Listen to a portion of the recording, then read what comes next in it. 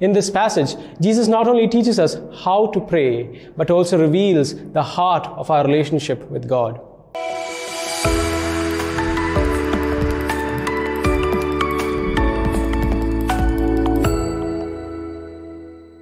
Dear brothers and sisters in Christ, today we gather to reflect on a profound and essential passage from the Gospel of Matthew, from chapter 6, verses 7 to 15.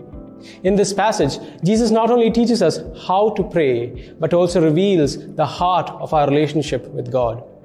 Jesus begins by instructing us, And when you pray, do not keep on babbling like pagans, for they think they will be heard because of the many words. Here, Jesus addresses a common misconception that the effectiveness of our prayers is determined by their length or complexity. Instead, he calls us to simplicity and sincerity. Prayer is not about impressing God with our words, but about opening our hearts to Him in genuine conversation. Jesus then goes on to teach us how to pray through the perfect prayer, the Our Father. Let's look at this prayer line by line. Our Father in heaven, hallowed be your name. In these opening words, Jesus invites us to recognize God as our Father. This is a radical and intimate way to address the Creator of the universe. It emphasizes our relationship with God as one of children to a loving parent. The words, Hallowed be your name, calls us to honor and revere God's holiness. It reminds us that prayer begins and flows from the adoration of God as our Creator and Sustainer. Your kingdom come, your will be done on earth as it is in heaven. These lines express a profound desire for God's reign to be established here on earth.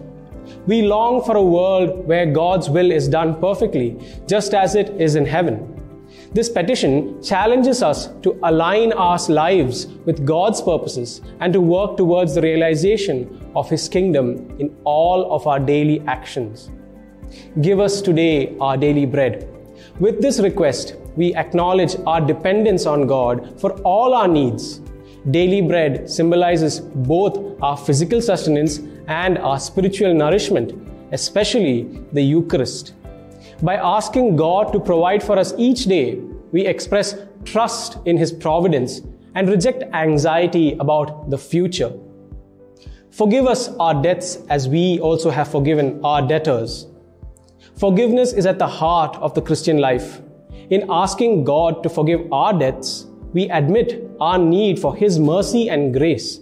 At the same time, we commit to extending forgiveness to those who have wronged us Jesus emphasizes this principle in verses 14 and 15, underscoring that our willingness to forgive others is directly linked to God's forgiveness of us, and it is an extension of His own mercy.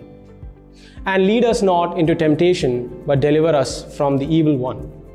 This final petition acknowledges our human frailty and the reality of spiritual warfare.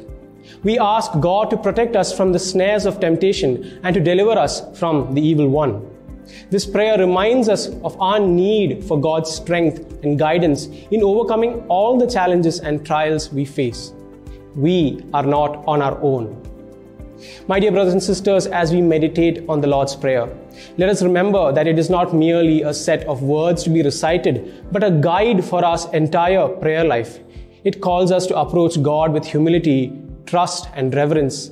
It challenges us to seek His kingdom, rely on His provision, practice forgiveness, and depend on His protection. May this prayer shape our hearts and lives, drawing us closer to God and transforming us into the instruments of His grace and peace in the world. Amen.